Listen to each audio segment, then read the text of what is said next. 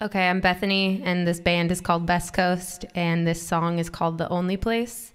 It's a song that I wrote about two years ago in my bedroom in Los Angeles, California, and it's just kind of like an ode to LA and California, and it talks about some of the landscape and some of the really cool aspects of California. And just it's just a fun like summer kind of carefree jam. And um, yeah, we love California, so I wrote this song for us, and it's called "The Only Place."